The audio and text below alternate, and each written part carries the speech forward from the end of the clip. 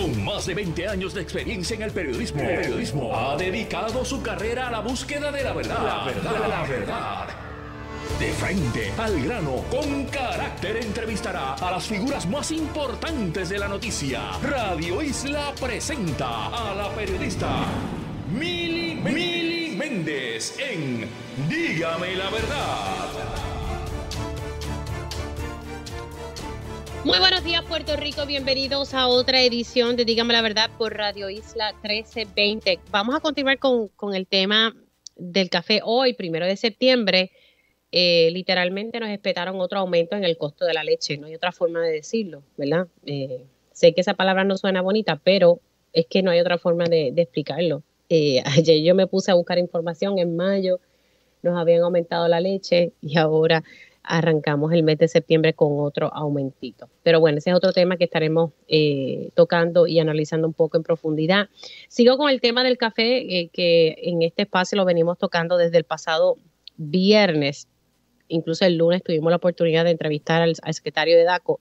Nuevamente está con nosotros en la mañana de hoy porque ayer DACO eh, bajó con una resolución donde determina que no se va a aumentar el precio del almud. Y, y especificó este detalle porque DACO solo puede establecer el precio mínimo del almud, que son unas 28 libras más o menos eh, de café. Y pues quiero hablar con, el secretario de DACO eh, sobre este particular. Ya sabemos la, que la determinación la tomó porque este comité que se crea para evaluar el precio del café no presentó un estudio económico, no presentó estadísticas, eh, se solicitó el aumento, pero como que no se hizo el análisis debido para entonces justificar el aumento. Y yo diría que yo creo que hay que ir más allá, hay que estudiar este tema un poco en profundidad, porque al final del día quienes se ven perjudicados son ¿verdad? los agricultores, el cafetal, eh, los caficultores que están ahí con el tema, ¿verdad? Trabajando su cosecha. Eh, y aquí hay muchos eslabones en el camino y pues nada, vamos a hablar un poquito en profundidad con el secretario de DACO. Buenos días, licenciado Edan Rivera, ¿cómo está? Buenos, buenos días, Mili. Un gusto estar contigo nuevamente. Bueno, secretario, no se presentó un, estudio económico, no se presentaron estadísticas. ¿En qué se basó el comité eh, para entonces eh, solicitar un aumento en el costo del café? En este caso, vamos a hablar del precio mínimo del almud, que es lo que puede establecer como precio mínimo DACO, ¿verdad? Luego de este comité y que presenta su, ¿verdad? Su informe. Sí, vamos, vamos, si me permites, Mili, un poco a enfatizar algunas cositas, algunos detalles que son importantes. El comité se constituye porque hubo una solicitud del Departamento de Agricultura para aumentar el precio del café importado en ningún momento la solicitud incluyó ningún tipo de aumento o ajuste al precio que se paga a los caficultores. Y eso es importante destacarlo. Ok, vamos, vamos por parte, porque eso es lo que quiero hacer. O sea, que este comité se crea porque el secretario de Agricultura eh, dijo, bueno, hay que subirle el precio al café importado. No estamos hablando entonces de, del café local. Así es. Eh, no estamos hablando, y de hecho, no hay solicitud presentada al DACO para hacer una revisión de los precios al caficultor. Lamentablemente, aunque se ha discutido en la palestra pública, ante el DACO no ha habido una solicitud para revisar eso en particular. ¿Quién, somete esa, ¿Quién se supone que someta esa, esa solicitud? Mira, el reglamento dice que puede ser a solicitud de parte interesada. ¿okay?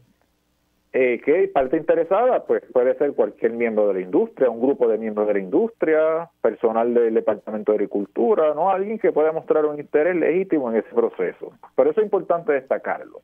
Ahora bien, una vez se constituye el comité, el comité tiene representantes de miembros de la industria, tiene un representante por caficultor, otro por beneficiador, otro por torrefactor, además de que se supone que haya economistas de DACO, de agricultura, y del Colegio de Ciencias Agrícolas de la Universidad de Puerto Rico. Una vez se constituye ese comité, dice la ley de reglamento que tienen que hacer estudios económicos, evaluaciones, recopilar data y hacer un balance de intereses. ¿Entre cuáles intereses?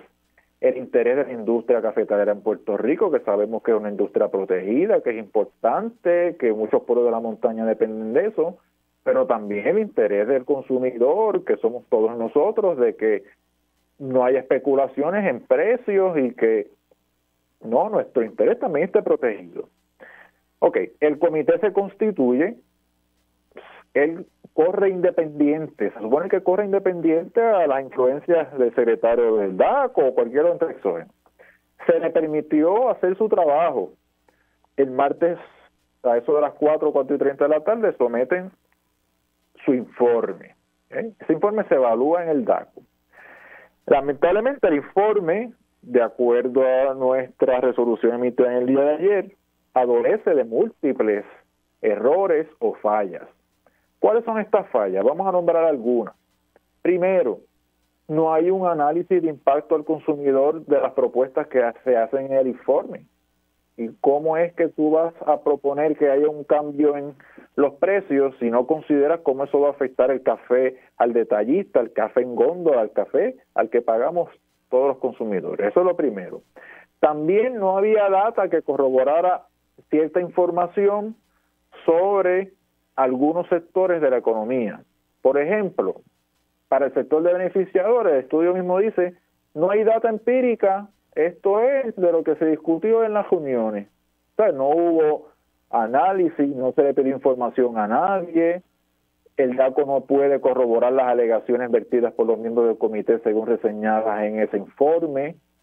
También para revisar los precios de caficultores, que hay unas recomendaciones en ese particular, no nos pone en posición de verificar si en efecto el almud se ha estado pagando por encima del precio mínimo establecido por DACO por qué es que piensan que ahora va a bajar ese precio que se establecía en el mercado en libre competencia, qué parámetros se utilizan para hacer esas proyecciones, qué fundamentos de teoría económica. Pues entonces, secretario, si esto, ¿verdad? Porque ayer leí el informe, si, si esto está relacionado a y que la solicitud fue de agricultura para subir el precio del café importado, y no el local. Entonces recae en el Departamento de Agricultura eh, atender la situación de nuestros caficultores, que son los que están aquí, chavao. Mira, es que, es que Mili, eh, DACO no es, o sea, no es responsabilidad, de, suena fuerte. No, no, yo, estoy consciente, espérese, secretario, estoy consciente de eso. Eh, solamente le pregunto si agricultura aquí es quien tiene que entonces resolver la situación, porque ahora mismo los caficultores vuelven e insisten que van a perder sus cosechas porque no se las están comprando. Pues es que... es, agricultura, entonces. Agricultura tiene un programa completo para eso, que es la Administración de Desarrollo Empresarial, Agropecuario, que ellos tienen un programa de compra-venta de café. que ADEA. La ADEA, hay múltiples eh, eh, estrategias y yo honestamente, yo no me voy a meter con las estrategias de desarrollo agrícola en Puerto Rico porque eso no me compete a mí como secretario de DACO, ¿no? A mí en el contexto de café me corresponde analizar el informe emitido por este comité que se constituyó por ley y verificar si se siguieron los parámetros establecidos por ley y reglamento para hacer las recomendaciones. vamos a hablar en Arroyo Bichola que no le pueden echar los 20 pesos a usted, pero yo quiero solamente tener claro, ¿quién establece, secretario, el precio para el consumidor? O sea, el, que, ¿verdad? Usted y yo que vamos al supermercado, compramos, ¿verdad? las 14 onzas de, de café quién establece ese precio, porque ya yo sé que lo que establece DACO en este caso es el precio del almud. Sí. ¿Quién establece el precio para nosotros los consumidores? La respuesta corta es el mercado establece el precio. Pero un poco de historia, Mili. Antes de 2015, DACO decía cuál era el precio fijo de cada uno de los eslabones del sector de café en Puerto Rico. Te decía el caficultor, el precio del caficultor es tanto, el del beneficiador es tanto, el de torrefactor es tanto y el del detallista es tanto, hasta el pocillo, hasta el pocillo de café se, ponía el precio. Eso cambió fundamentalmente en 2015, después de dos años de análisis. Esto es importante recalcarlo. Después de dos años de análisis, de estudio económico, de evaluación, de yo, yo tengo acceso a esos expedientes, aunque yo no estaba aquí, tengo acceso a todos esos expedientes, que son expedientes bastante robustos con un montón de evidencia. el DACO determinó en su momento de que iba a cambiar la estrategia de precio e impuso solamente mínimos en dos eslabones de la cadena, caficultor y beneficiador. ¿Qué significa eso? Que el mercado puede producir precios mucho más altos de lo que establece DACO de acuerdo a la realidad de ese mercado, pero no puedes bajar por encima de ese precio establecido por DACO. Es como una especie de garantía, mira, negocia de aquí para arriba, y lo que yo he visto en los expedientes es que ese precio siempre ha estado por encima de los 14.58 del ALMUR que establece la orden que está vigente. Y así es como ha funcionado hasta ahora. Por eso es mi sospecha, y digo sospecha porque no tengo pruebas y tampoco surgen del expediente. Yo tengo mi sospecha de que nadie había gritado hasta ahora porque eso estaba funcionando adecuadamente. Y el mercado sí, pero, pero, pero están, están, gritando el grito, ¿verdad? Es ahora porque entonces se lo están comprando, no a, a, los precios luego de María, que era entre unos 20 y 22 dólares, sino que están, pues obviamente, basándose en los 14.58, que es la tarifa del 2015. La tarifa mínima, ¿verdad? Y eso es importante la mínima. La mínima, y que de acuerdo a la, a la, a la información que yo tengo acá, esa nunca ha sido el precio, siempre ha estado más alto. Y también enfatizar que el, comité se constituye no por esa razón, porque esa no era la solicitud, la solicitud era sobre el café importado. Y tercero también recalcar, eh, Mili, la resolución del DACO dice, mira, eh, eh, esto es un tema cambiante y que a solicitud de parte se puede revisar siempre. Y el comité, de hecho, lo que dice la resolución es, comité, si tú quieres seguir en funciones, sigue en funciones, pero atiende las fallas identificadas en en la resolución para que las tomen en consideración y si lo entienden apropiado, enmienden, sometan, suplan la información y hagan los estudios que no hicieron para hacer las recomendaciones iniciales. Claro, que, que, que esa, ese análisis eh, puede continuar y lo que le dice DACO es, mira, comité, por favor, atiende la falla y vamos a seguir analizando el tema. Lo que dice la resolución es, el informe que entregaste al DACO no cumple con los fundamentos mínimos para hacer una revisión de precios, porque la ley es bastante clara, dice que tiene que haber estudio económico, tiene que haber una ponderación de intereses, que no se realizó en este caso. Ay, señor, hay que respirar profundo. Interesante eso que usted me dice, ya me tengo que ir porque tengo ya otras entrevistas en línea. Eh, que, incluso esto en el 2015 cambió. ¿A usted le pareció que ese cambio de que DACO ahora solamente establece el precio mínimo del caficultorio beneficiario y no en el resto de la cadena, ¿le, pareció correcto ese cambio que se hizo en el 2015? Mira, eso es buena pregunta. Fue un cambio importante porque eh, cambió una estrategia de precios que llevaba tres décadas en el DACO. Eh, yo realmente no voy a emitir juicio sobre lo que DACO hizo cuando yo no estaba aquí, pero esa es la realidad con la que tenemos que trabajar y lo cierto es que hasta hace un mes no había habido ningún tipo de alegación sobre la adecuacidad de la orden que está vigente del 2015. Sí, pero no, no, me puede decir si fue adecuada o, o si fue inadecuada. Mira, probablemente Mili eh, tuvo, como todo, cosas buenas y cosas malas. ¿Cuáles son las cosas buenas? Que los caficultores podían ganarse más de lo que dice DACO, que le permite al libre mercado funcionar para producir unos rendimientos mayores y proteger la industria de algunos sectores. Por otro lado, pues eh, permite que se aumente el precio al consumidor en algunas instancias, pero si hay una sana competencia, tal vez el libre mercado produce precios que son más competitivos. Así que es como toda orden o como toda política pública, va a tener sus fallas y va a tener sus virtudes también. Interesante, ¿verdad? Ese detalle. Siempre bueno conocer, ¿verdad? las decisiones que se tomaron en el pasado. Secretario, agradezco que haya entrado, ¿verdad? Unos minutitos para poder hablar un poquito más en, profundidad sobre, sobre este tema. Se me cuida mucho. Claro que sí, Miri, siempre a la orden. Que estés bien. ¿Cómo no? Igualmente para usted, licenciado Edan Rivera, secretario de DACO. Eh, voy a enfatizar en esto porque eso del 2015, él dice, ¿verdad?, que tuvo sus cosas buenas y sus cosas malas. Eso se cambió. Y, ¿verdad? Porque DACO jugaba un papel en todos los eslabones. Me está aclarando que eh, ahora, pues, DACO juega un papel en establecer el precio mínimo del almud, ¿verdad? Eh, él me, me, recalca que, el, que lo que estaba analizando el comité era para aumentar el precio del café importado, no el local. Así que eso fue lo que evaluó y obviamente lo que le pidió el comité fue, mira, arregla tu falla y, vamos a continuar el diálogo, pero arregla tu falla. Así que tengo en línea telefónica a William Cabán, agricultor de Bartolo, y también a Lisa Sánchez, eh, portavoz de la campaña de recuperación justa agrícola. Eh, buenos días, don William, ¿cómo está? Sí, muy buenos días y gracias por recibirme en, su programa. No, gracias a usted por hacer un, huequito. Eh, bueno, aquí hemos hablado mucho desde el viernes pasado sobre este tema, por lo menos ¿verdad? aquí en mi espacio.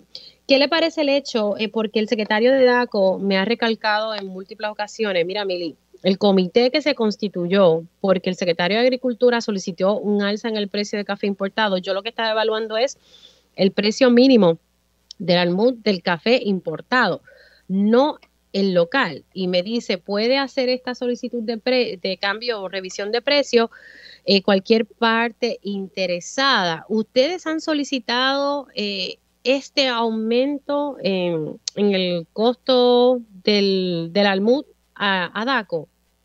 Eh, este, a nosotros no se nos permite porque claramente están diciendo que es un comité, el comité que está aparentemente representando los intereses de nosotros los caficultores no nos representa directamente a ninguno. Ellos están representando sus propios intereses. Ok, pues vamos por parte, porque me parece que ese detallito es importante. ¿Quién es el que tiene representación en ese comité y que lamentablemente no ha estado representando los intereses de los caficultores? Eh, pues este, eso es, un, este, ah, como yo lo explico el secretario de Agricultura exige que sea un, beneficiario, un torrefactor, un agricultor, eh, pero no eh, vuelvo y digo, en ese comité no hay agricultores, lo, todos los que están discutiendo el tema del café ahora en Puerto Rico, cuando nosotros hicimos la, la delegación de que no se nos iba a pagar el precio justo por el almud de café, el, granito, la uva, como se le llama en eh, no nos están representando a nosotros los caficultores, están representando la administración de los de los que hacen las harinas.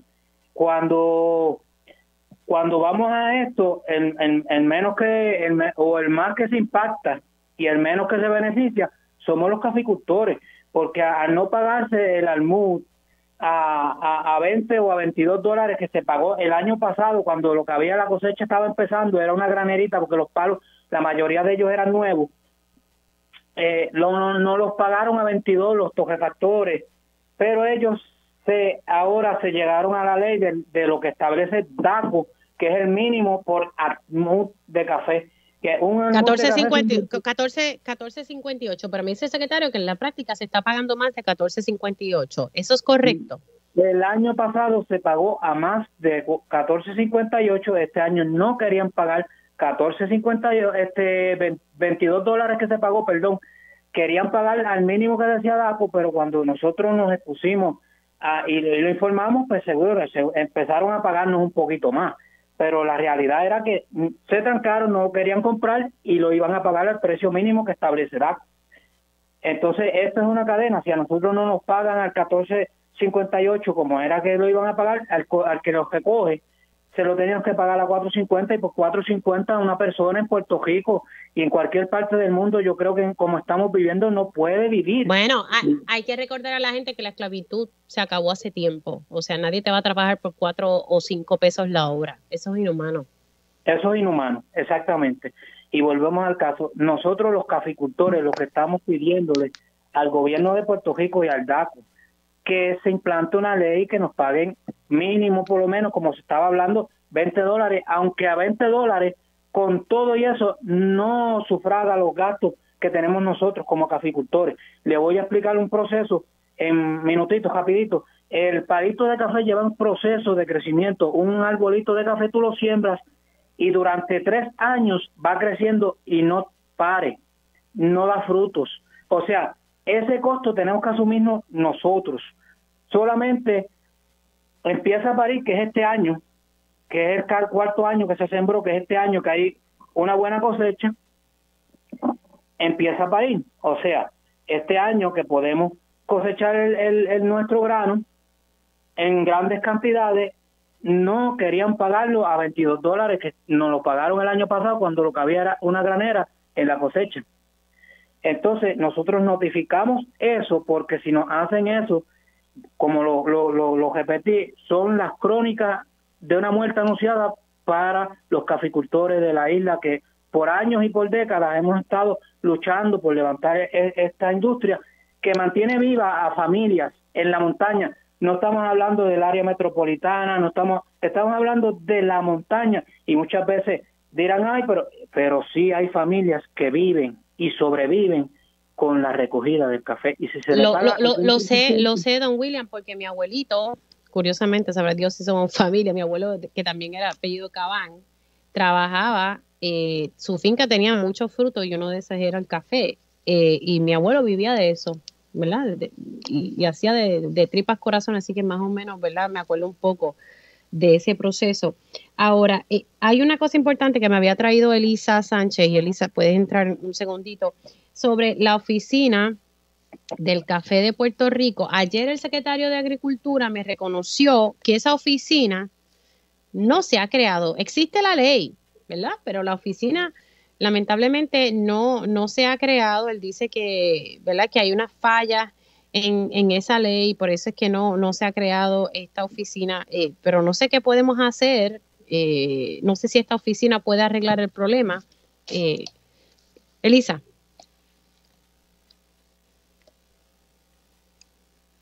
Elisa, ¿estás ahí? Bueno, creo que Elisa, perdí a Elisa. Don William.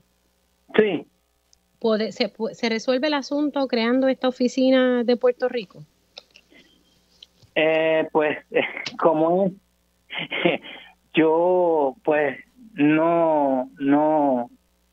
Bueno, eso tendría que entrar en análisis la cuestión cómo nos va a impactar a nosotros los caficultores eh, el problema está en que si las leyes se, se, se, estipulan, ¿verdad? y, y, no se y, el dinero no llega a, a donde tiene que llegar, pueden haber las leyes que hayan, pero si no llegan al sector, al, al, al, al, más afectado, que es el recogedor, no va a cambiar en nada, no cambia en nada porque nos vamos a quedar igual y el problema es que todo sigue subiendo a nosotros se nos duplicó todo lo que tenga que ver con abonos, herbicidas, fungicidas, todo subió en el mercado. Entonces, eh, eh, yo tengo que, que, este, añadir a esto que, el, secretario de Agricultura y DACO lo que tiene son unas jaquetitas y una bolita de tenis. Se pasan la bola de uno al otro y no resuelve con eso que están, lo que están haciendo es un show mediático Claro, pero, pero aquí, don, don, mire, yo creo que aquí, porque lo que pasa es que, don William, aquí necesitamos que alguien de la industria local, ya que usted me dice que, que ustedes no están representados en, en ese comité, que alguien alce la voz por nuestros caficultores dentro de ese comité y que se solicite un aumento en el precio local, porque a mí no me hace sentido, y con esto me tengo que ir a la pausa, si en el 2021 se estuvo pagando el café a 22 dólares el precio del almud. Estamos hablando del almud, no el, ¿verdad? en el precio al, consumidor. El café no aumentó de precio. No aumentó de precio. Claro, entonces aquí me dice el secretario que el precio del consumidor lo establece el mercado. Pues mire, vamos a, esto es un llamado que hago yo, vamos a proteger a nuestros agricultores, los que están trabajando el café. Yo lo que aquí, ¿verdad? Humildemente les sugiero es que ustedes muevan la cosa para que puedan o estar integrados en ese comité y que ustedes puedan entonces solicitar un aumento al precio al almud, que no debe, que no debe representar un aumento para el consumidor. Pero bueno, eh, a la verdad que, y, vemos, entiendo su punto, que, que, todo el mundo aquí, que si ayer cuando entrevistaba a la agricultura me decía que sí, da cuidado, como dice, no, no, yo lo que establezco es el precio mínimo del almud yo no, yo no establezco el precio del consumidor. Así que, bueno, don William, gracias por haber entrado aquí en, en Dígame la Verdad. Un abrazo. Sí, gracias por recibirnos. Cómo no.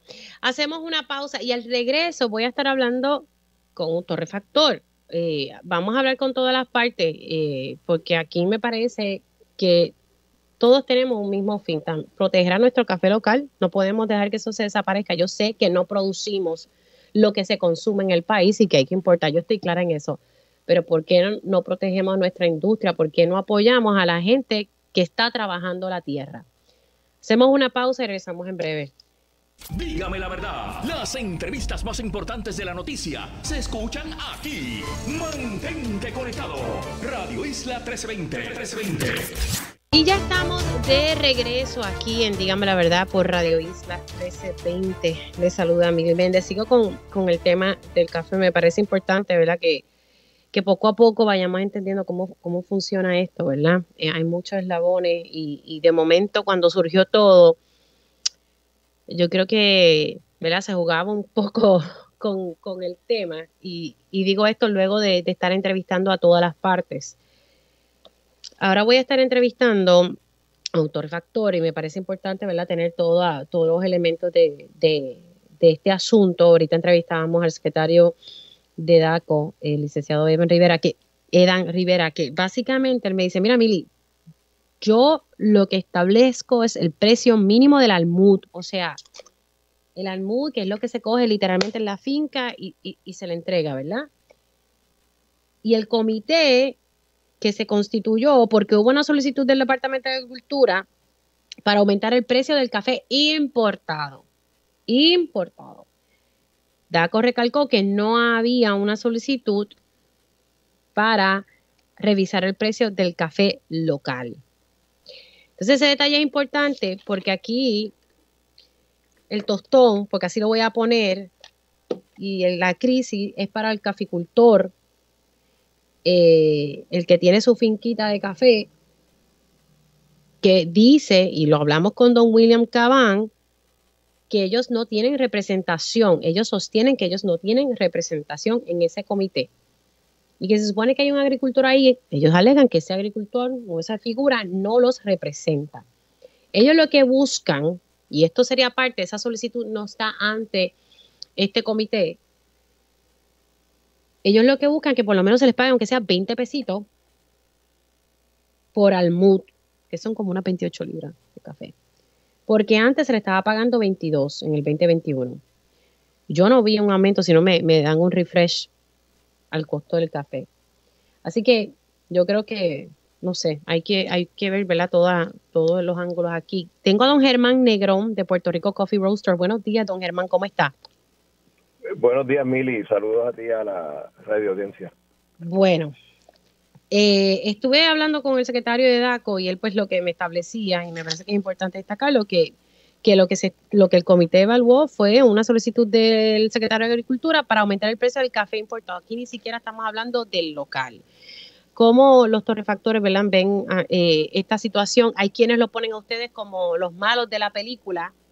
Eh, ¿cómo, ¿Cuál es su análisis sobre este tema? Bueno, mira, Mili, yo creo que, que, es importante, ayer hablábamos, ¿verdad?, en televisión. El, que, es, corto, es menos tiempo, ¿verdad? Aquí por lo menos creo que podemos hablar un poco más. Correcto, que se, que se separe, que se separen los temas, eh, porque aquí la, el, el, reclamo que hacemos en la industria, ¿verdad?, es que, es que se, por fin pues se, le, se reconozcan eh, esos precios mínimos, ciertamente pues el secretario del DACO lo explicó muy bien, son mínimos, no son, no son máximos, eh, los que se establecen a nivel de, finca. Y, es importante porque los caficultores han tenido aumentos en, costos de, sus insumos, aumentos en el, en el costo de mano de obra. Y, nosotros como miembros de la industria y como, como, eh, como fincas también que tenemos, como caficultores, pues lo, vemos y lo, y lo vivimos también. Eh, y ese, ese tema, eh, pues, verán, en esta discusión de los pasados días se ha, se ha mezclado eh, o se han eh, discutido simultáneamente con otros reclamos del Departamento de Agricultura para, para aumentar su, el café que ellos eh, importan como materia prima para también ¿verdad? generar unos ingresos adicionales. Entonces, lo que te decía ayer era que, el peligro de hacer este tipo de, de, combinar los temas es que, primero, que añade complejidad al análisis eh, y son análisis verdad que son eh, ciertamente eh, de costo son análisis que requieren economistas y que requieren un análisis profundo eh, que entonces iba a trazar y a complicar más el, la prioridad que existe y la urgencia actual, que es que se eh, oficialice ese precio eh, del caficultor a nivel de finca.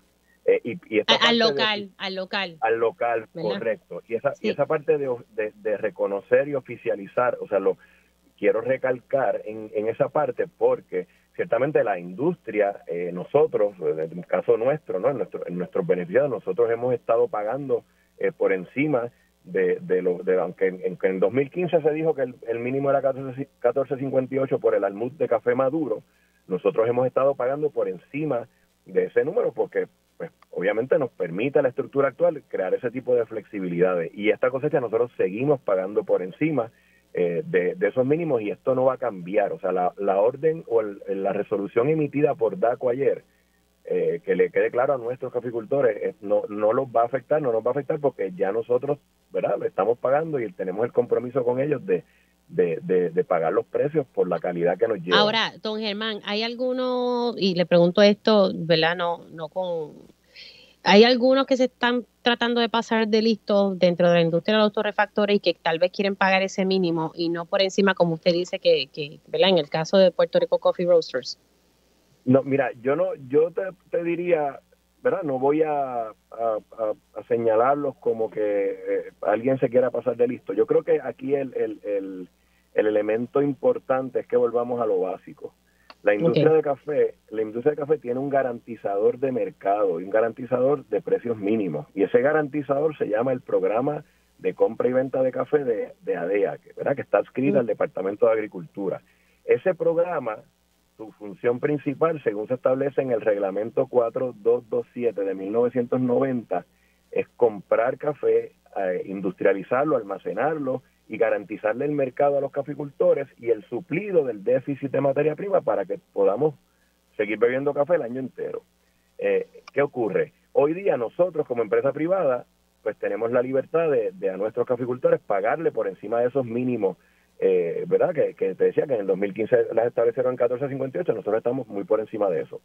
Eh, pero ¿qué ocurre? Si algún alguna empresa privada en el camino, algún beneficiador o, o, que le compra al agricultor, no tiene certeza de que cuando compre el café lo pueda llevar al programa de compra-venta de café, pues obviamente están midiendo sus riesgos. Porque ¿qué ocurre? Si, si algún agricultor hoy va al programa de compra-venta de café de ADEA, ADEA no le puede pagar más de 14.58. La empresa privada sí, y ya lo estamos haciendo, pero el programa de café no le puede pagar más del equivalente de 14.58 en, café, en el café ya seco, procesado. Entonces, al no existir eh, ese, esa herramienta para el programa de café como garantizador del mercado, es donde entonces puedes tener los casos de que algún beneficiador o algún torrefactor pues diga, espérate, no, no, o sea, ¿cómo me voy yo a, a, a, entrar en ese riesgo de adquirir este café ahora si yo no tengo el garantizador eh, que, que, ¿verdad? que existe y está creado por reglamento en el Departamento de Agricultura? El, el, garantizador no tiene la, la herramienta para, para asegurarme que aunque si yo lo pago a los 20 dólares al agricultor, yo voy a tener un lugar donde llevarlo. Ahora, eh, me estaba diciendo el secretario de DACO que quien establece los precios al consumidor, pues nada, que es el, el, libre mercado, ¿verdad? Lo establece el, el, mercado. Ustedes han estado pagando por encima de los 14 dólares. Yo lo que quiero, porque yo, esta, la discusión se ha llevado como que el consumidor va a ver un aumento en el costo del café, pero en el pasado se estuvo pagando a 22 dólares y yo no vi un aumento eh, a la hora, ¿verdad?, del consumidor comprarlo en un supermercado, en una panadería, en una gasolinera. Eh, y, yo no sé si es que se están tratando de, de, inyectar ese miedo a, la ciudadanía. Hay, hay un verdad hay, un grado de, de verdad sí de, quizás desinformación como te decía y de, y de mezclar temas eh, exacto que, por eso hay, que, hay que volver entonces a lo básico a lo más o sea a lo fundamental porque de ahí entonces partimos. Eh, ciertamente como como dices el, el, en los pasados años hemos estado pagando más eh, y no se ha visto necesariamente un, reflejo en el consumidor porque el volumen del café producido pues ha sido, ¿verdad? El, el, mercado lo ha podido absorber y nosotros en la empresa privada hemos podido pagar sin tener que transferírselo eh, en el café del diario al, consumidor puertorriqueño. En la medida en que la producción local continúe, continúe aumentando, que es, a lo que aspiramos todos, pues ese eh, vamos a tener que, ¿verdad? que utilizar, que tostar más café de Puerto Rico y ese y ese precio pues poco a poco, año tras año irá eh, transfiriéndose al consumidor, pero el consumidor sabiendo que, que, si está pagando un poco más es porque es porque Puerto Rico está produciendo más café y le está llegando ese dinero ese dinero al caficultor. Así que ciertamente si no no se ha visto eh, un aumento hasta ahora aún pagándolo es por lo es, por, por la cantidad de café que se produzca. Este año con lo que se proyecta que se va a producir no se espera tampoco que haya unos aumentos dramáticos al consumidor causados por la producción de café de Puerto Rico. Ya para el año siguiente, 2023, que se proyectan que las cosechas ¿verdad? comiencen a, robustecerse más y a crecer más, pues, pues ¿verdad? los estimados es que ya entonces pues ya el consumidor va, a comenzar a ver eh, poco a poco ¿verdad? unos aumentos en, en, góndola, pero, pero es porque estamos tostando y elaborando y, tomando más café de Puerto Rico eh, y yo estoy seguro que si se le explica al consumidor de esa manera eh, y las funciones del, de, garantizador de mercado y de, y de, ¿verdad? de, ADEA se llevan a cabo y, y, ¿verdad? y DACO eh, a, su vez protegiendo lo que son los intereses del consumidor mientras eh, mantiene esas garantías, esto va a correr, esta maquinaria va a funcionar y vamos a poder llevarle a los consumidores puertorriqueños cada vez más café de Puerto Rico en cada paquete de café eh, y, obviamente pues va a ser un, un, tema de, apoyo a la industria local y no lo que representaría un aumento de golpe ahora al 100% del café, eh, donde solamente el 20% le llega a los caficultores y el otro 80% pues caiga eh, ¿verdad?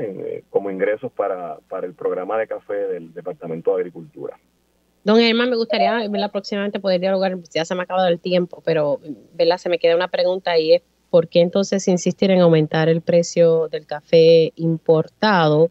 Eh, porque luego de, escuchar las distintas partes, esto en nada ayuda entonces al, caficultor local. O sea, no, sabemos entonces por qué se quiere aumentar el, importado, no sé de qué manera eso ayuda, pero ya se me ha acabado el tiempo. Pero gracias por haber estado aquí en Dígame la Verdad. Por supuesto, Mili, y cuando guste, estamos a la disposición de, ustedes y del público. ¿Cómo no? Ahí ustedes escucharon a Germán Negrón de Puerto Rico Coffee Roasters hablando un poco sobre, sobre este tema y, que en efecto eh, se ha estado pagando por encima de ese precio mínimo que se ha establecido desde el 2015. Y, y, y el año pasado, cuando se pagó 22 pesos, no resultó en un aumento y él explicó el por qué. Bueno, hacemos una pausa y regresamos en breve. Dígame la verdad, las entrevistas más importantes de la noticia se escuchan aquí. Mantente conectado. Radio Isla 1320. 1320. Y ya estamos de regreso aquí en Dígame la verdad por Radio Isla 1320, dejando, a un lado el, tema del café que, es sumamente importante. Vamos a hablar un poco eh, sobre esta propuesta que hay para construir un estacionamiento soterrado y entonces una pista, según explicaba el alcalde de San Juan esta mañana en Pegaos. Eh, esto ha generado mucha controversia eh, y yo creo que es que cuando no se es transparente desde el principio eh, y no se le explica a las personas ¿verdad? con detenimiento, pues, pues lleva a, confusiones y que se digan muchas cosas. Quiero poder reproducir el sonido de Miguel Romero de esta mañana con el compañero Julio Rivera Saniel, porque él sostiene que hay unos estudios que sí que se realizaron. Entonces, yo lo que me pregunto es por qué eso no se le divulga. Entonces, él lo que contesta es que, pues nada, que, eso está ahí, que cualquiera lo puede pedir. Oiga, usted sabe que para aquí solicitar que se le den documentos, eso se tarda un montón y a veces se hacen de la vista larga para no entregar documentos que son públicos. Esa es la realidad. No, no me lo estoy inventando. Vamos a escuchar qué fue lo que dijo el alcalde de San Juan. El, el, funcionarios del municipio de la división legal ya lo han, ya los han visto, inclusive estudios arqueológicos, endosos del Instituto de Cultura y de la Oficina de Preservación Histórica a lo que es, ¿verdad?, el conceptual de lo que se va a estar haciendo allí. Y todo eso ya está. Ambiental, estudio de la zona marítimo terrestre pueden incluso conversar con el Departamento de Recursos Naturales y Ambientales. Pero entonces eso está, todo eso está. Sí, todo eso está y, todavía le faltan estudios adicionales porque esta construcción primero que todavía no se ha llevado a cabo el contrato de arrendamiento con el municipio de San Juan. Sea claro, aquí no se le va a regalar nada a nadie. El contrato va a ser por tasación del valor de ese terreno y mirando la inversión millonaria que ellos tienen que hacer. Eh, y otra cosa que se ha levantado para tratar de tirar eh, sombra sobre esto es que no hubo una subasta. Mire, señores, no puede haber una subasta porque esto se está negociando directamente con los proponentes del Normandy porque la política pública es buscar alternativas para evitar que eso al final del día eh, se destruya, se caiga en ruina y que sea un testimonio adicional de que no se hizo nada para restaurarlo. Ya se nos acaba el tiempo, alcalde, pero en definitiva ya se han presentado algunos estudios, quedan otros pendientes. De tener todo eso en orden, el proyecto va. Bueno, y que levanten los chavos. Nosotros lo que estamos haciendo es un intento para no ser un impedimento a que esto pueda buscar la manera de, hacerse y financiarse. Bueno, ustedes escucharon lo que dijo el alcalde de San Juan, Miguel eh, Romero, esta mañana en Radio Isla 1320. Tengo a Manuel Cardenón Cerame, legislador municipal de San Juan en línea. Saludos, ¿cómo estamos? Buenos días a ti, y buenos días al país que nos sintoniza. Bueno, sé que usted pudo escuchar la entrevista completa, su reacción a, lo que explicó el alcalde de San Juan. Mira, a mí me parece eh, que el municipio de San Juan y la administración de Miguel Romero eh, ha llevado este proceso completamente por las patas y lo que empieza mal termina mal. Eh, yo creo que eh, aquí ya la legislatura municipal aprobó el pasado miércoles eh, en vista en la sesión ordinaria lo que es la ordenanza municipal autorizando el arrendamiento del Parque Sisto Escobar a la compañía desarrolladora eh, Normandy OZ. Esa es la aprobación de esa ordenanza municipal se hizo sin ningún proceso de vistas públicas. Eh, en, la, en la propia sesión se le pidió a la presidenta que se le devolviera el informe a comisión entre tanto y en cuanto tuviésemos eh, el estudio de suelo que la compañía desarrolladora hizo, los veintitantos informes que dice el alcalde de San Juan que, que tiene sobre el, área y la zona. Vamos, vamos por parte, em, eh, Calderón. Se supone que antes de que la legislatura municipal aprobara esta ordenanza, dando la luz ver este proceso de, ¿verdad? del contrato, eh, se supone que se llevará a cabo vistas públicas.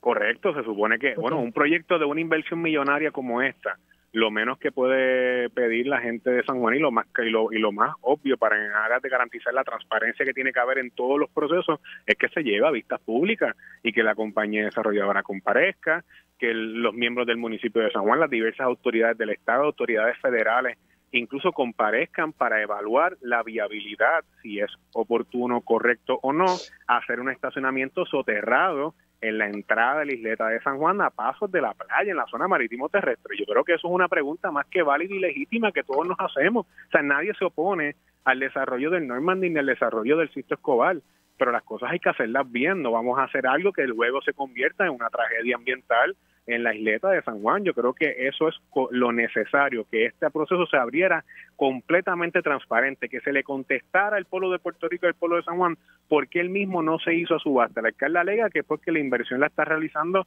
el dueño colindante del Normandy, pero en el otro lado del Parque Sisto Escobar hay una compañía que administra un estacionamiento, esa compañía puede reclamar que por qué no participó en una subasta. Aquí hay otros inversores y otros desarrolladores que igualmente podían hacer una propuesta diferente para construir un estacionamiento en la entrada de la isleta. Todas esas cosas están entredichos. El canon de arrendamiento, el Código Municipal establece que todo arrendamiento que una legislatura municipal apruebe tiene que establecer un canon, ya sea por un dólar al año o por la cantidad de miles de dólares que se le vaya a alquilar. Eso no está establecido en la ordenanza municipal que se aprobó. aquí hay muchas cosas que levantan dudas, donde el municipio de San Juan se le dio la oportunidad que le pusieron detente a esto, que abriera esto a vistas públicas, que comparecieran las comunidades cercanas, Puerta de Tierra, La Perla, en la, en la comunidad del Viejo San Juan, la gente de Santurce, que este proceso se abriera y que todas las comunidades participaran. En eso, la administración de Miguel Romero le dio la espalda a la gente de San Juan en este proceso.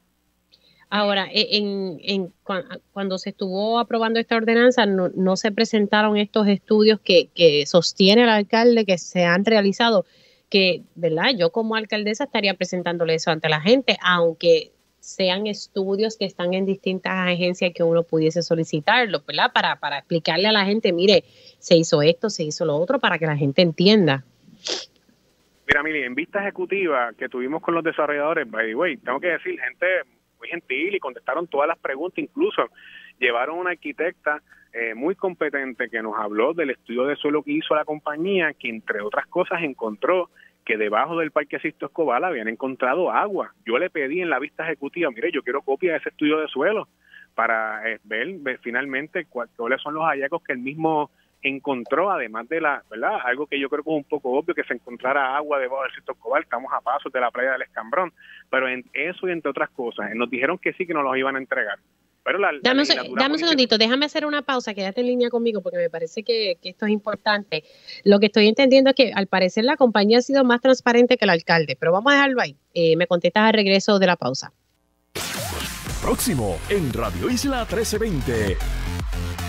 Vamos a continuar el diálogo con el legislador municipal de San Juan, eh, Manuel Calderón Cerame, en torno a esta ordenanza que, se aprobó recientemente y que al final del día daría paso a una construcción de un parque soterrado en el Sixto Escobar.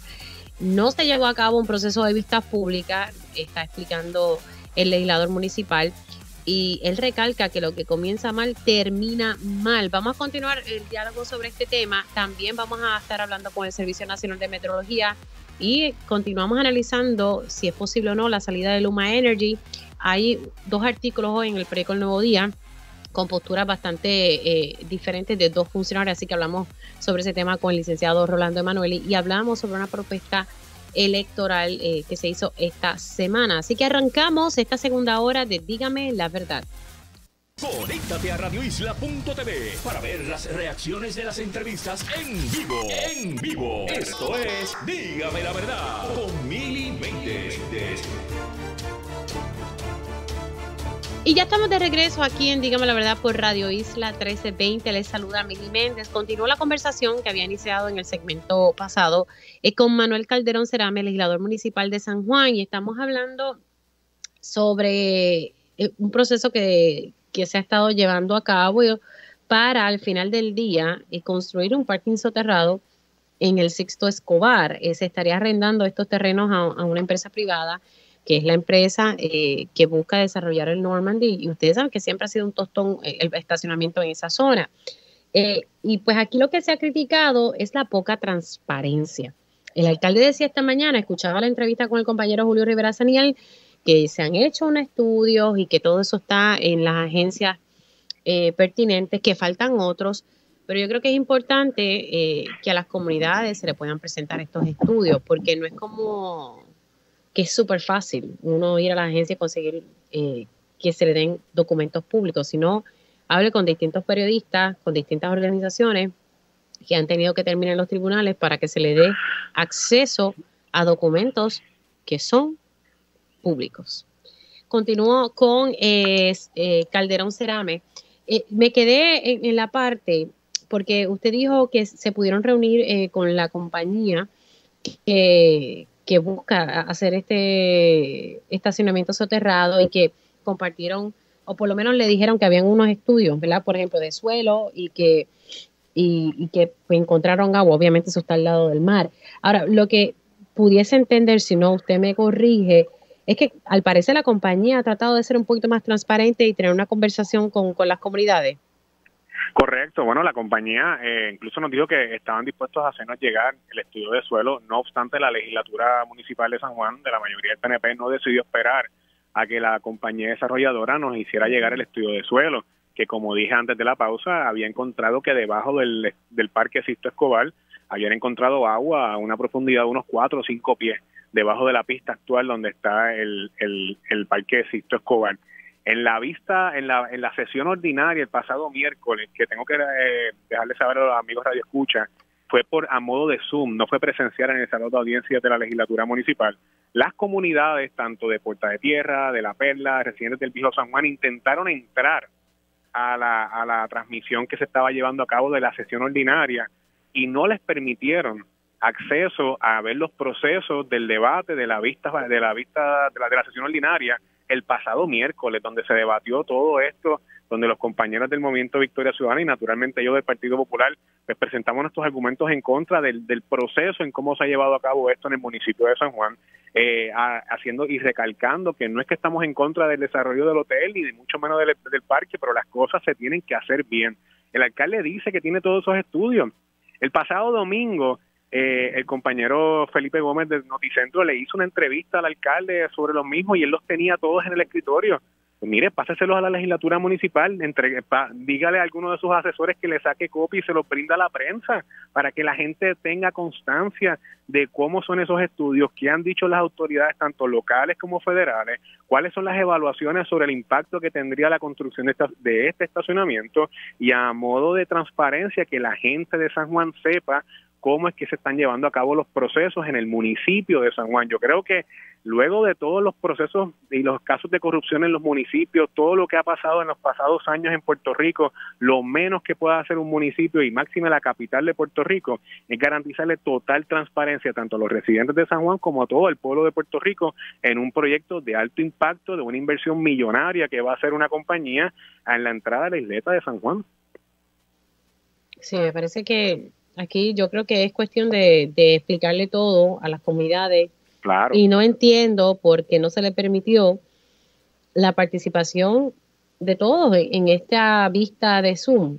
Eh, oye, yo sé que estamos con COVID, pero ya no hay tanta excusa para hacer las cosas por Zoom. Sí, pero una cosa, una cosa es que estamos con COVID, Mili, pero entonces no hay COVID para eh, empezar el desarrollo de lo que van a hacer las fiestas de la calle San Sebastián. No hubo COVID cuando se hizo la regata de los 500 años en el municipio de San Juan. O sea, hay actividades multitudinarias que planifica el municipio, pero para eso eh, el COVID no es una excusa, pero para llevar a cabo los procesos transparentes en la legislatura municipal y que el pueblo de San Juan tenga constancia de qué es lo que está haciendo su municipio eh, con un proyecto como este. Entonces, para eso sí, el COVID es una justificación para no llevar a cabo los trabajos. Bueno, pues al paso que vamos, yo creo que va a ser mejor que ustedes sigan dialogando con la empresa que propone eh, construir este estacionamiento, porque al parecer, pues ellos están siendo más transparentes que el, que el mismo municipio, o por lo menos están más abiertos al diálogo. Correcto, pues claro que sí. Bueno, gracias por haber estado con nosotros. Gracias a ti, Mili. Un abrazo. Cómo no, se me cuida mucho.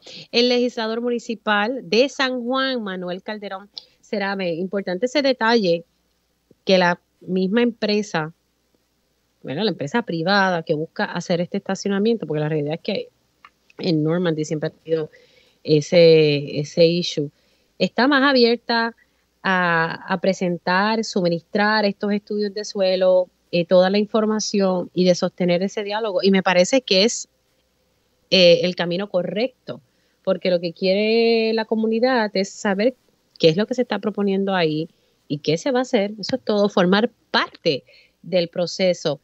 Y, aquí nadie puede estar en contra de un desarrollo, pero vamos a hacer las cosas bien. Eh, imagínense, se llevó a, se aprobó una ordenanza sin realizar una vista pública como tal.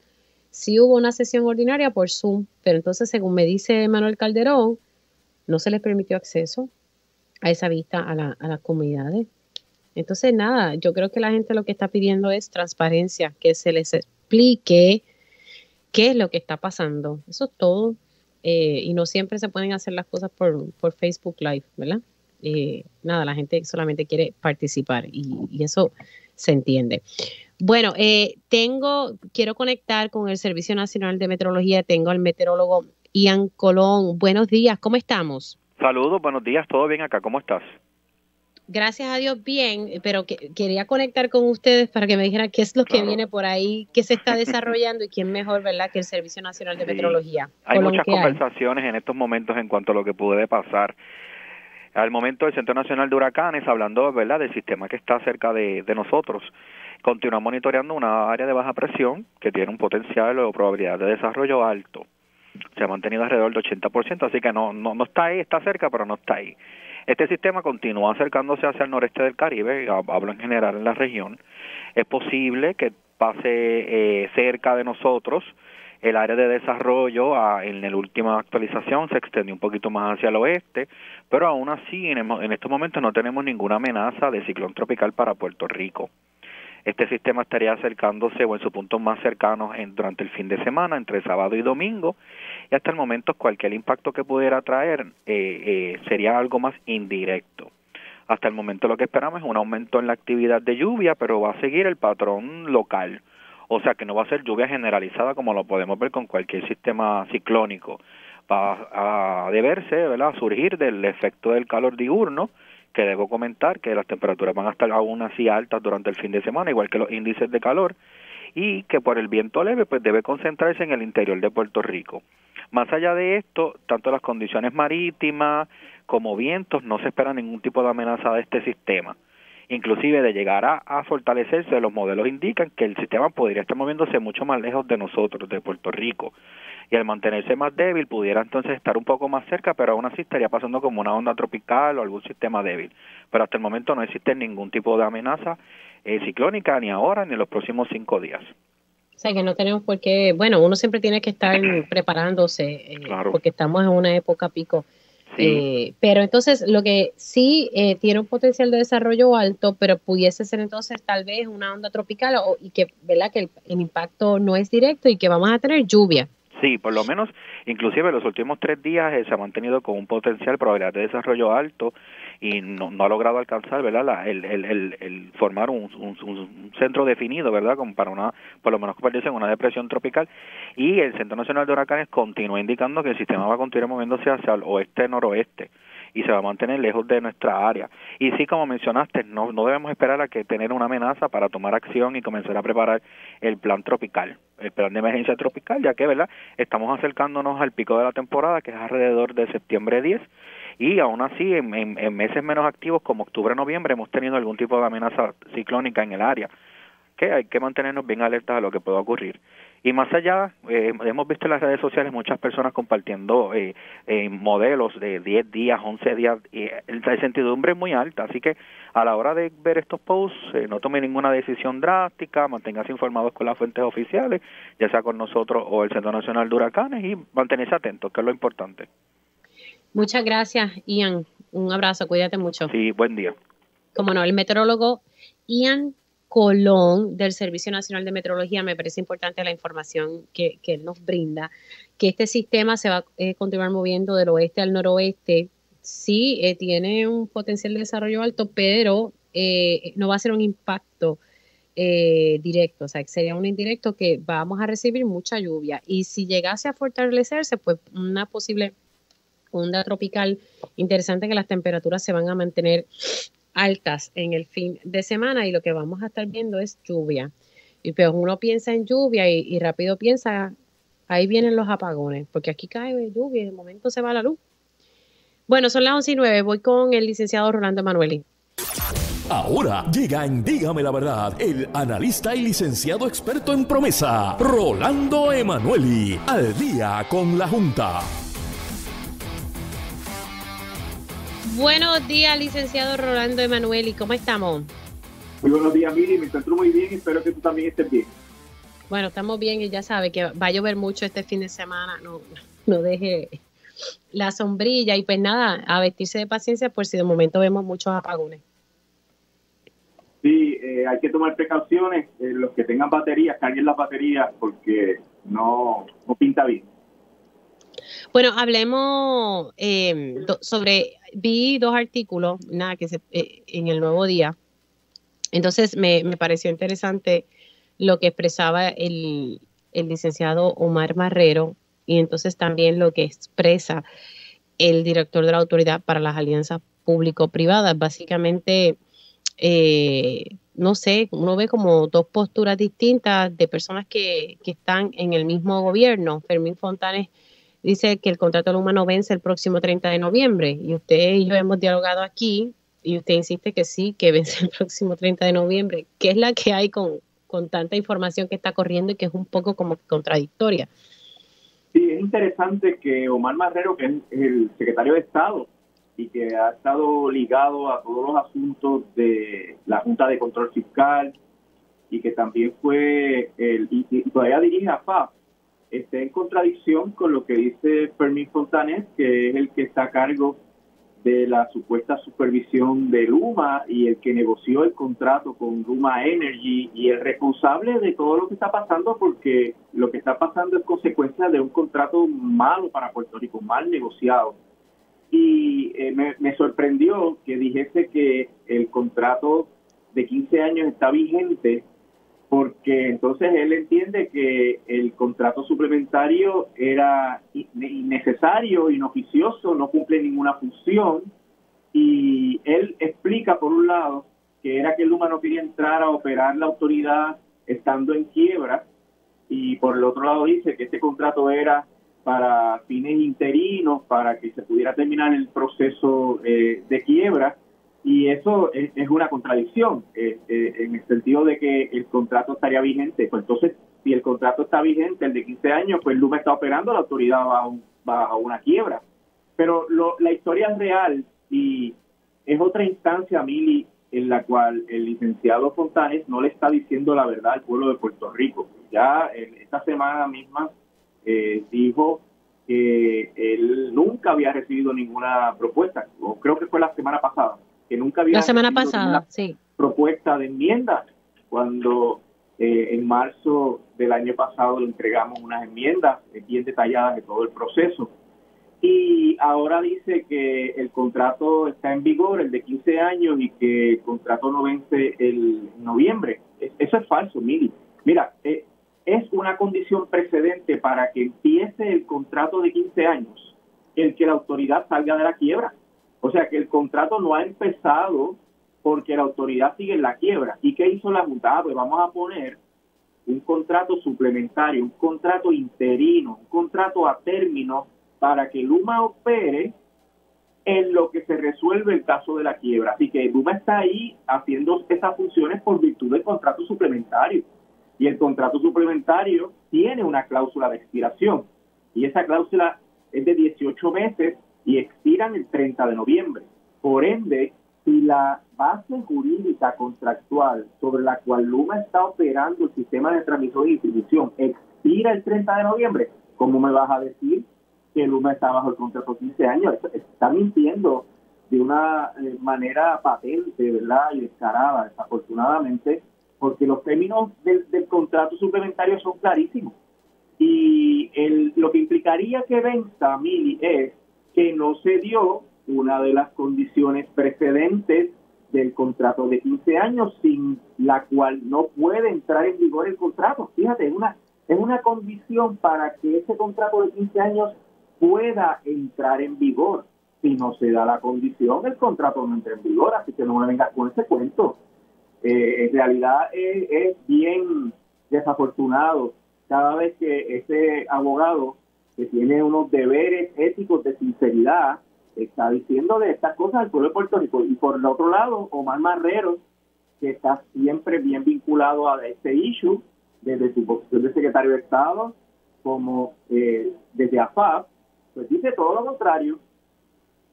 Eso, eso, eso demuestra, Mili, la desconexión que tiene Fermín Fontanés de lo que dice el contrato y de lo que tiene que hacer como administrador de ese contrato, que no ha hecho nada. Él dice que lo está fiscalizando porque pidió una auditoría. Mire, no ha enviado ni una sola carta de incumplimiento. Él, parece que no sabe cuál es el procedimiento para fiscalizar a Luma. No Pero usted sabe lo que lo que da vergüenza es las contradicciones. O sea, yo estoy mirando ahora mismo los dos artículos, uno al lado del otro. Entonces uno dice una cosa y el otro dice otra. Eso es increíble. O sea, el desempeño del consorcio influirá en las decisiones del gobierno una vez concluya el acuerdo suplementario. El otro dice, no, es que no concluye el 30. Madre mía, qué vergüenza.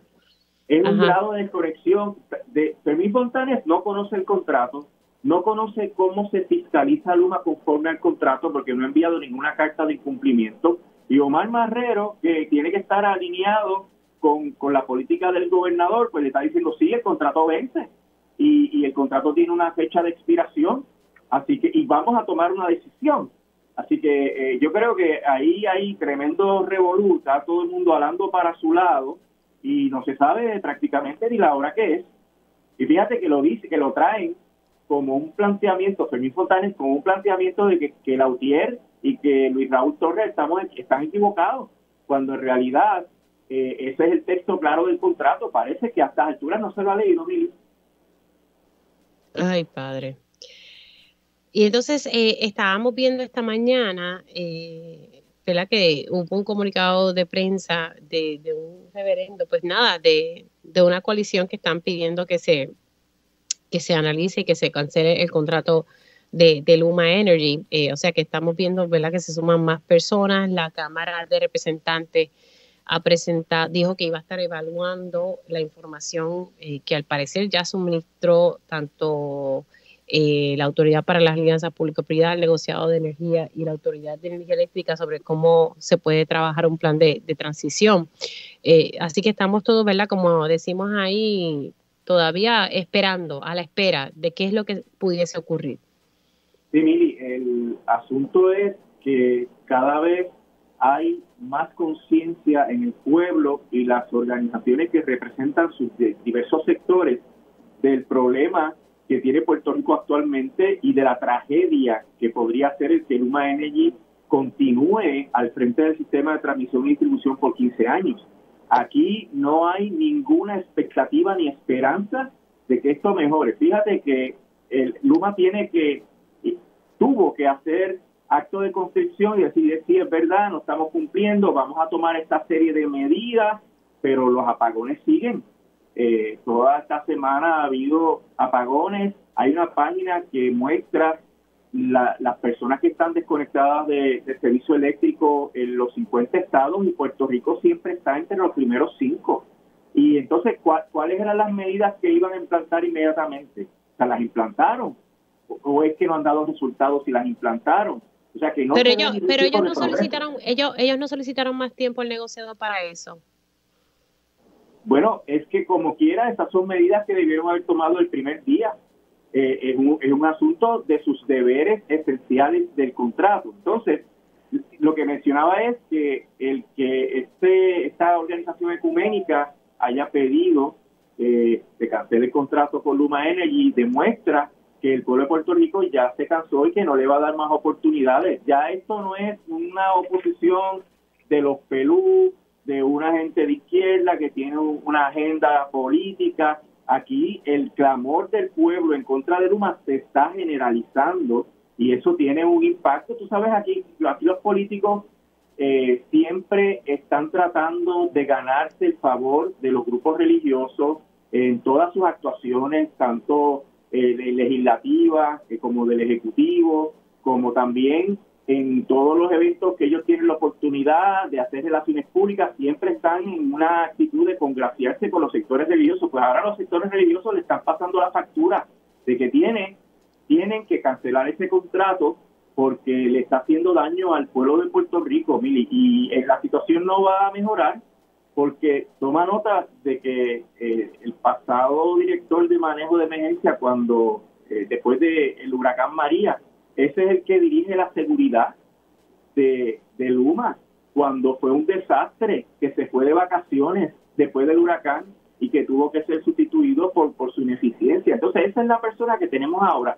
O sea, Luma es la misma o peor politización que lo que tenía la Autoridad de Energía Eléctrica. Por eso el gobierno está defendiendo tanto a Luma, porque ha, llenado a Luma de personas que pertenecen al partido y que se deben favores y, por eso no quieren defender al pueblo de Puerto Rico por la misma politiquería. Por eso es que yo creo, Mili, que el contrato se debe dejar expirar y se debe hacer una nueva ley orgánica que despolitice profesionalice y democratice a la nueva compañía eléctrica de Puerto Rico. Esto hay que arrancarlo de raíz porque no va a mejorar y vamos a seguir pagando las consecuencias.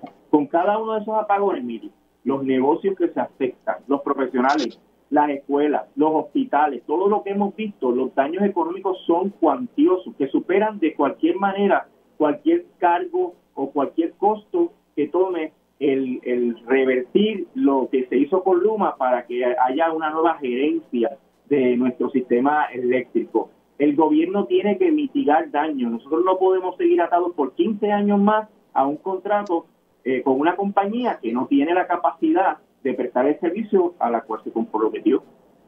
Definitivamente. E, este tema de, sobre el costo energético a nuestros pequeños y medianos comerciantes lo voy, a tocar, lo voy a estar tocando mañana precisamente en el Getaway Empresarial del Centro Unido de Detallistas, que, eh, dígame la verdad, va a estar transmitiendo el programa en vivo desde allí, en el High Regency Grand Reserve. Así que estaremos mañana a partir de las 9 y 55 de la mañana, porque esto sí, estos apagones afectan a nuestros pequeños y medianos comerciantes y es una de las quejas mayores que tienen. Licenciado, se me ha acabado el tiempo, pero conectamos la próxima semana o cuidado si antes, ¿verdad?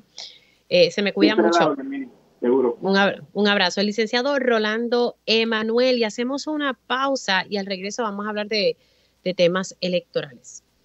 Dígame la verdad, las entrevistas más importantes de la noticia están aquí. Mantente conectado y recuerda sintonizar al mediodía, tiempo igual, en Radio Isla 1320 y Radio Isla.tv. Y ya estamos de regreso aquí en Dígame la verdad por Radio Isla 1320.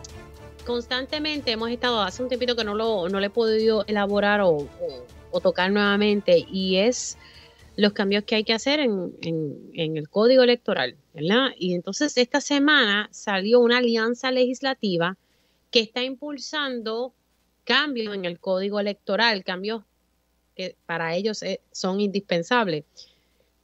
Y luego de estar tocando ese tema aquí con distintas personas, incluso con, con el representante ay, se me fue el nombre, pero el vicepresidente de la Cámara de Representantes, eh, Connie Varela, eh, lo he dialogado con él porque eh, tiene muy presente que si hubo un partido que dijo constantemente que iba a hacer cambios en ese código electoral, y si mi memoria no me falla, por lo menos lo dijeron de boca de que iban a estar derogándolo, pues eso no ha pasado. Y se crea esta alianza legislativa. y quisiera con mi próximo invitado dialogar sobre esto porque él fue comisionado electoral. Así que vamos con el licenciado Olvin Valentín. Dígame la verdad. Ahora se une a la conversación el abogado y emprendedor social Olvin Valentín. Y ya estamos con el licenciado Olvin Valentín. Licenciado, ¿cómo estamos? Muy bien, muy bien. Gusto saludarte como siempre, Mili. Saludos a ti y a todos los que nos escuchan. Bueno, ¿Qué le parece esto de la alianza? A mí me, parece bien que, se estén uniendo, ¿verdad? Tanto Movimiento Victoria Ciudadana, el PIB, legisladores independientes, eh, pero hay que darle como que, esto se siga moviendo, porque la realidad es que no ha pasado nada con el código electoral. Este, esto ha sido tema que usted y yo hemos hablado un montón de veces aquí. ¿Qué le parece? Pues mire, yo, yo creo que esto, esto de las alianzas, nosotros, ¿verdad? En, en el Movimiento Victoria Ciudadana hemos venido hemos venido hablando sobre alianza hace hace un tiempo y ha habido un mandato por del, Consejo Ciudadano Nacional que es el cuerpo directivo rector del movimiento en cuanto a impulsar las alianzas. Y, mucho se ha hablado de las alianzas electorales no el momento de, los nombres que figurarán en la papeleta pero nosotros hemos hablado siempre desde el principio que hay muchas formas de hacer alianzas y están las alianzas sociales, eh, las alianzas electorales y las alianzas políticas y legislativas, como es el caso de esto que pasó en la legislatura, que eh, legisladores de diferentes partidos se unieron para llegar a, unas medidas de consenso de lo que entienden que son unas enmiendas esenciales que deben ocurrir en el código electoral. Y, yo creo que esto es reflejo no solo del gobierno y de la composición actual del gobierno, que es un, es un gobierno eh, multipartita, eh, sino que también es reflejo de lo que la gente quiere y lo que necesita, y es que se unan diferentes sectores para lograr cambios. En cuanto a esto de las alianzas, de los cambios que proponen eh, el, al código electoral, pues muchos de ellos son cosas que se han venido, desde que era comisionado también llegamos, denunciábamos estos, estos cambios que eran necesarios, desde que se abrieron las, las vistas en la legislatura para posibles enmiendas al código, se trajeron. Y, y son, eh, son cambios esenciales, entre ellos, por ejemplo, lo que tiene que ver con el balance electoral, que se, hemos estado criticando eso desde el principio. Ahora, actualmente el balance lo componen prácticamente dos partidos nada más, que es el PNP y el PPD, y ya con eso se, se decide y se, y se es lo que define cómo se resguarda el, la confianza, por decirlo así, en los procesos. Y no debería ser así, porque se excluye a otros partidos. También eh, en lo que tiene que ver con OSIPE y con Java, yo creo que ahí eh, es, es, crucial. Que OSIPE, ¿verdad? es, es la Oficina de Servicios de Sistemas de Información y Procesamiento Electrónico, que es lo que maneja todos los sistemas de información y toda la tecnología de la Comisión Estatal de Elecciones. Y e increíblemente solamente es controlada por dos partidos y los demás partidos no tienen ningún tipo de, de, de participación ahí. Y Java, que fue protagonista de estas últimas elecciones, que es la Junta de Voto Ausente, Junta Administrativa de Voto Ausente y Voto Adelantado, que decidió la elección con la participación histórica de 220 y pico de mil personas que votaron de esa modalidad y actualmente solo es controlada por dos partidos también y con una con un control casi absoluto del Partido No Progresista, no solo con sus comisionados y con su eh, presencia en Java, sino también con la presidencia de Java. O sea que esos son cambios que son necesarios eh, entre, ¿verdad? entre muchos otros que, que se trajeron y que diferentes sectores los presentaron, como, como fue en la conferencia de prensa eh, en estos días recientes, que es importante que se traiga a la discusión y que, y que se consideren en las enmiendas que vienen al código. Bueno, vamos a ver cómo, cómo se está moviendo esto, porque la realidad es que se había dicho, eh, y, fue el PPD, y esto yo lo recuerdo, que, que, había dicho constantemente que esto se iba a derogar, que se iba a derogar, y, ya estamos que en el 2022, ya el año que viene es lo que queda, porque entonces el 2024 es prácticamente un año electoral. Eh, y estos cambios hay que, si se van a hacer cambios, hay que hacerlos ya, porque hay que implementarlo y hay que hacer las cosas bien. No podemos hacer las cosas como ocurrió en las pasadas elecciones, que se llevaron cambio al garete, de verdad, porque, y, lo, y no lo digo yo, yo recuerdo que dialogaba con, ay Dios mío, con, una, con la excomisionada electoral del, del partido Nuevo Presita, Norma Burgo. Ella me decía, mira, Mili, y lo dijo, recuerdo bien cuando la entrevisté, las cosas hay que hacerlas bien, hay que, hay que implementar los cambios, eso y por eso fue que vimos lo que ocurrió en las pasadas elecciones, o sea, e, e, en primarias, elecciones, bueno, Cosas que aquí no se habían visto antes. Precisamente por, por esa aprobación a último minuto fue lo que provocó todo el caos. Y, y eso lo, lo tenemos que evitar y por eso es que es una decepción que el Partido Popular haya hecho promesas en campaña de derogar el código desde principios del cuatrienio. No lo hicieron, entonces ahora le estamos como que le están dando como largas a este asunto no podemos permitir, no podemos llegar eh, eh, a, hacer cambios a último minuto porque va a pasar lo mismo. Y es lo que, o sea, lo que se está hablando es, no van a, atenderlo ahora, van a dejarlo para lo último, para que luego simplemente hacer unas enmiendas cosméticas que nos resuelven el problema.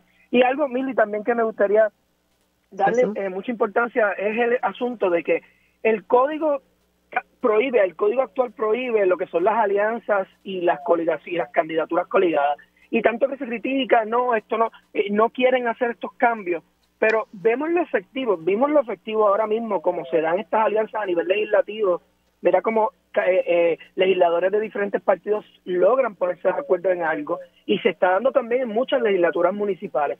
Sin embargo, no le quieren dar paso a, una, a, a las alianzas y candidaturas coligadas para el proceso electoral porque ciertamente no le conviene a la estructura del bipartidismo actual porque sabe que se va a ver amenazado. Pero sin embargo, hay tras bastidores, sí se dan unas alianzas eh, entre el PNP y el PPD, como lo vemos en la Comisión Estatal de Elecciones, que se ponen de acuerdo para decidir y para controlar el organismo y también en la legislatura hay eh, de facto unas alianzas entre el PNP y el PPD para controlar los procesos y básicamente dejarlo estancado como está en, en lo electoral. Así que sí se dan esas alianzas de forma negativa, y de, pero debería enmendarse el código para que se permita que los electores tengan la opción de escoger a las personas que quieren que dirijan eh, el país y que puedan crear alianzas y candidaturas coligadas entre diferentes partidos.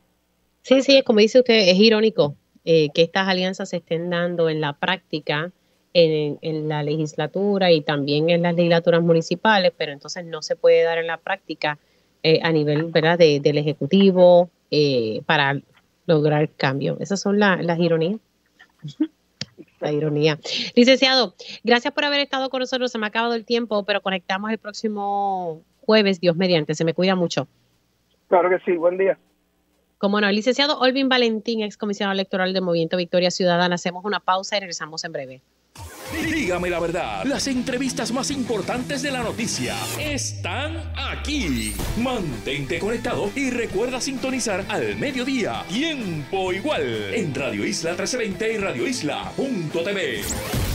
Y ya estamos de regreso aquí en Digamos la Verdad por Radio Isla 1320. Les saluda Mili Méndez. Gracias por conectarse. Usted se perdió algún detalle de la primera hora de este espacio y pues esta segunda hora que está corriendo, sepa que la versión podcast de este programa siempre se hace disponible a través de radioisla.tv.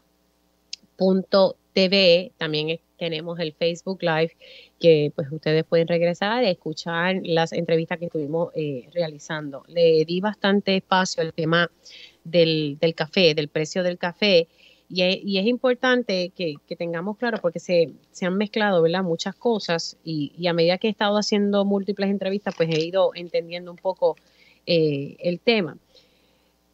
El secretario de DACO, Edan Rivera, lo que tenía ante sí era evaluar un informe, ¿verdad? Que hizo el comité que se constituyó para revisar una, el precio del café importado.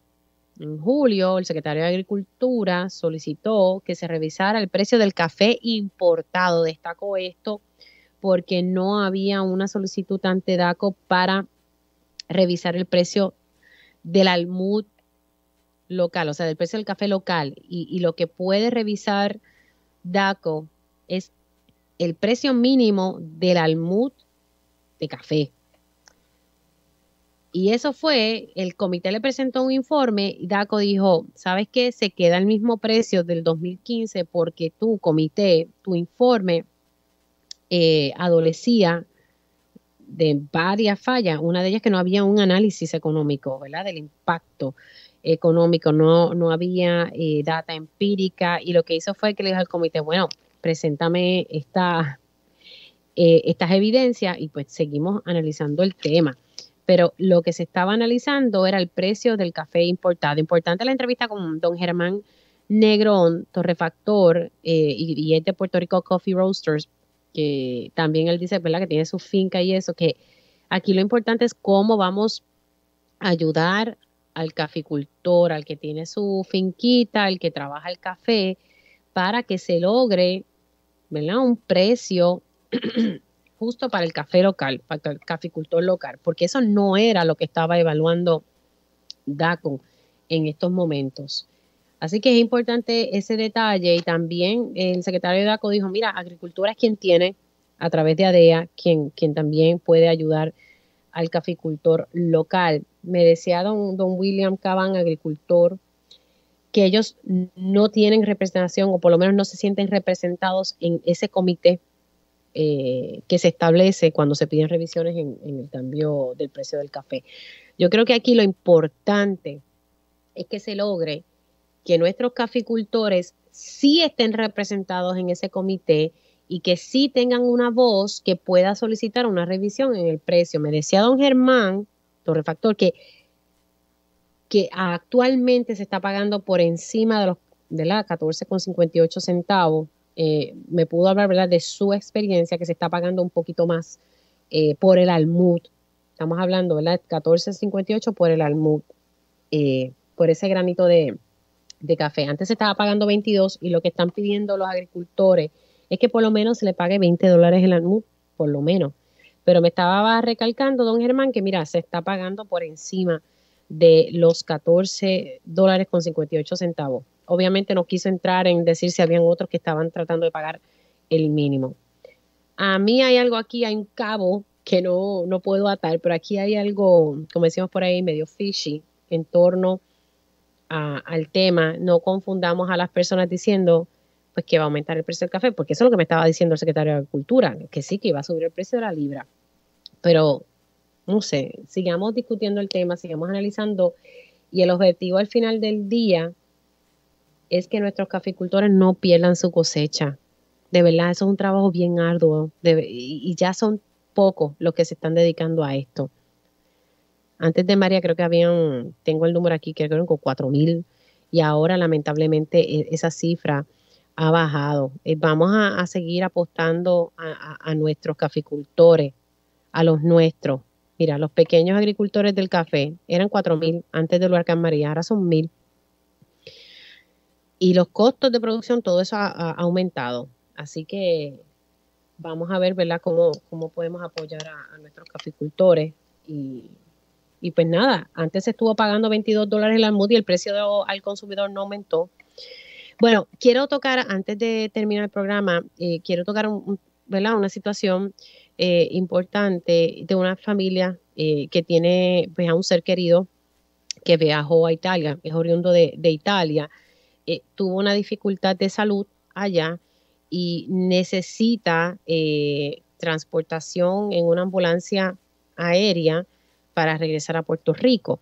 Eh, tengo a la hija de don Eduardo, tengo a Diana Carta en línea telefónica para que me pueda explicar un poco sobre el caso. Buenos días, Diana, ¿cómo estás? Buenos días, ¿me escucha? Sí, le escucho muy bien. Diana, ¿cuál es la situación? Eh, tu papá es oriundo de, Italia, pero se casó con una boricua y reside acá, pero estuvieron recientemente de visita eh, en su país natal.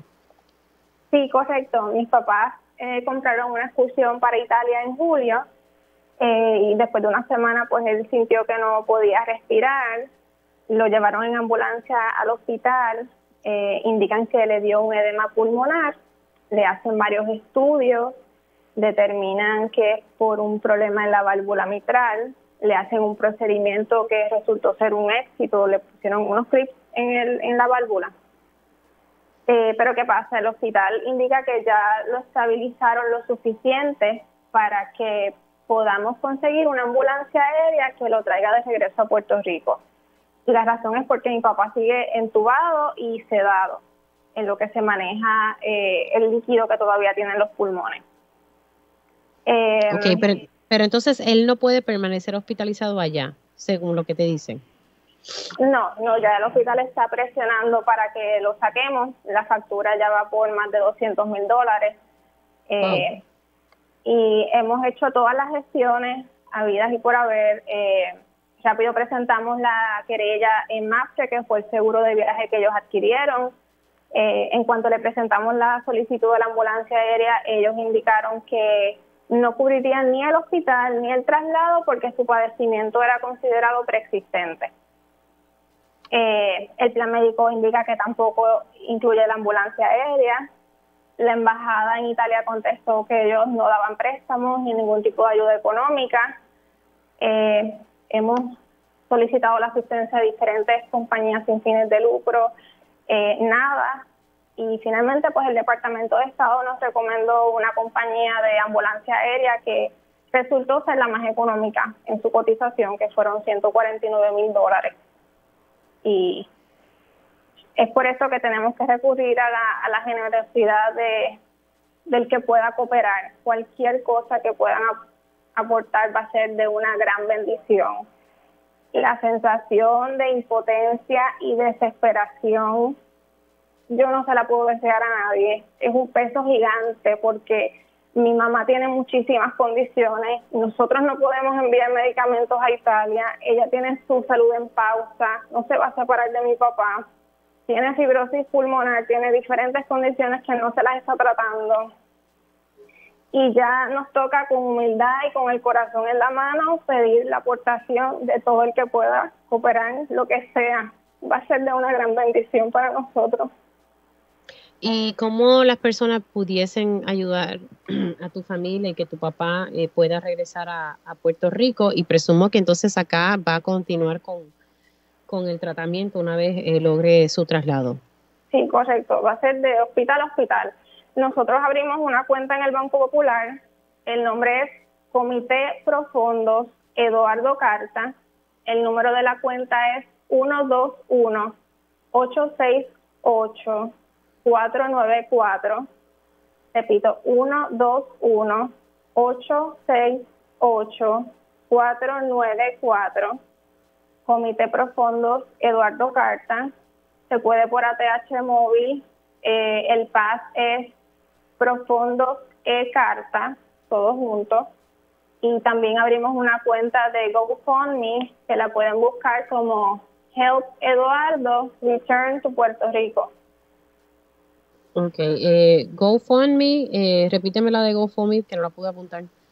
Help Eduardo Return to Puerto Rico.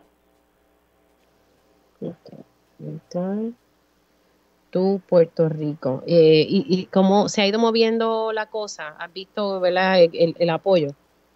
Sí, la gente está cooperando, gracias a Dios, pero todavía estamos cortos por bastante dinero porque es mucho, es mucho. Este, apenas llevamos como una semana en movimiento de recaudar, este, todavía nos faltan más de 100 mil dólares eh, y, necesitamos eh, traerlos lo antes posible porque realmente es por la salud de los dos.